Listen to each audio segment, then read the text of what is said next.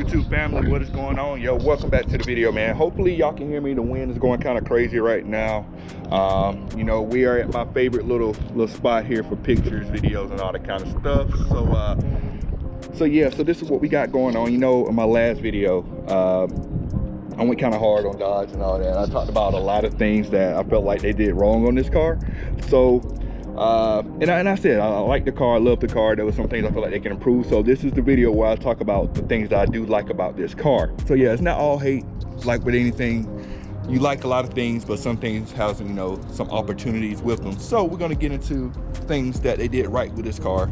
And um, let's get into a little bit of a list I got going on here. Before I jump into that um, right now I think we're just under 400 subscribers. So I want to appreciate everyone uh, that has subscribed to the channel, uh, that's checking me out and, supporting the whole uh, thing I got going on because there's a there's a thousands of people right now on YouTube doing car videos and you could be you could be anywhere in the world but you're here with me, right?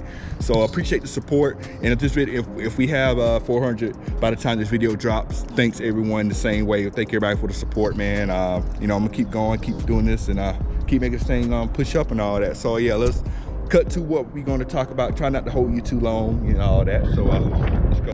All right, so the first thing I want to get into what they got right with this car. And this is one of those things that can go either way. That can either be bad or good. It's bad from a performance standpoint, but from a practicality standpoint, this is actually pretty good. So one thing I talked about in my last video, I put the link up here somewhere that on the last video I mentioned that this car is it weighs it, it weighs it's heavy. It weighs a lot compared to the other cars in the, in the uh, in, in, its class. This car weighs the most by far. It, it weighs just as much as some four-door sedans. But with that weight, you do get size. And with that size, that means that you can be comfortable inside the car, front or back seats.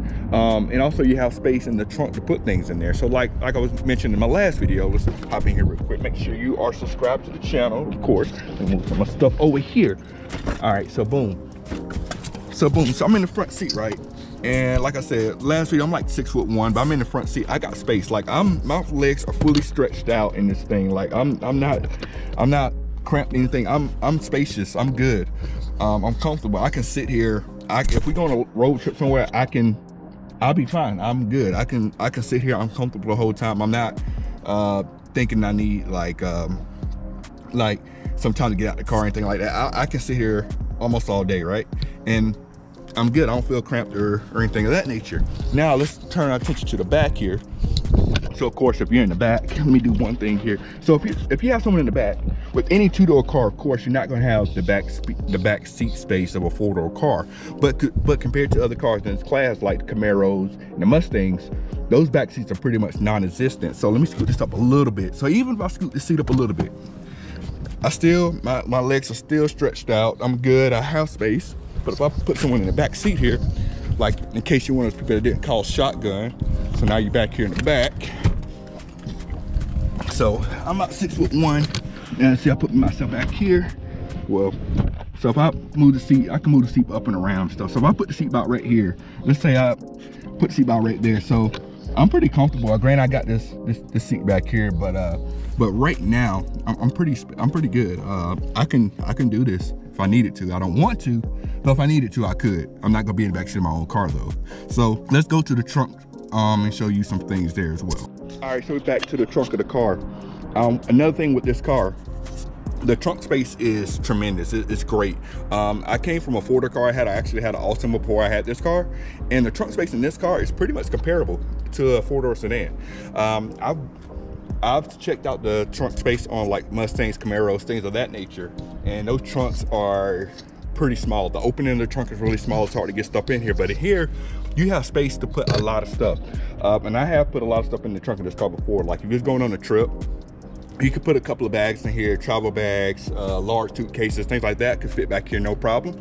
And you're good, the car's still functional. Uh, that's one thing I feel like is a good part of this car that stands it out from the rest that this car even though it's a two-door car it does have functional space. All right so we're to get into the inside of the car here. So this is an obvious one that i like about this car and there's some other cars that will fall in this, into this category as well. The one thing that i still like about this car and other cars like this that they still offer this car with the standard manual transmission and when i mean manual transmission i don't mean like the whole i can it's automatic but let me flip it over like a shift like do paddle shifting that those cars are great, cool and all that, nothing against that. But I feel like hitting the clutch, pulling, get rolling through the gear, stuff like that is it adds a different dynamic to the drive, the driving experience of the car. So I'm happy they still offer this with a manual. Uh, granted, I know Mustangs still come with manuals, Camaros, and some other cars out there like Hondas uh, still come with manuals. So thankfully, this is one of the cars that comes with a manual as well. So um, a lot of cars I know going to like dual clutch transmissions and automatics only just because there's not a lot of people that can drive manuals, but still having a manual option in this car Love it. Thank you. Another thing, probably the last thing I might add on to this list here of things that Dodge got right for this car. And this is the most obvious thing. This is something I hear a lot of people say, but I want to mention it as well. It's something that I like about this car. is the fact that they stay very, very true to the retro styling of the original Challengers on the modern day cars they could have easily went to a route of trying to make it a sports more of a sports car than a muscle car but they said no we're gonna stay true to our roots and make this a modern day muscle car. And if if, uh, if you're familiar with challengers you kind of know the body lines and things like that but for those that are not as familiar with the older model challengers i could point out a couple things that this car has on it that is pretty much the same as the the 70s model challengers. Uh, we're not going to speak on the 80 model challengers because we don't claim those at all period. So we're just gonna we're not gonna no we don't do that around here. So a uh, couple things like if you know the 2014 and below challengers those were modeled after the 1970 challengers and those challengers one of the some of the styling features on that was the lights that go all the way across on the back. And on the front you had the real big headlights on the front. Now this car itself is modeled after the 1971 challenger. And i can cue up some stuff on this one so uh, i don't know if you see my tail lights hopefully you can but the 1972, not 71, not 72, 71, 71 is where this one is modeled after. That was the first year they offered the split tail light design, which they offered in this car. Um, that's different from the 2014 and below Challengers.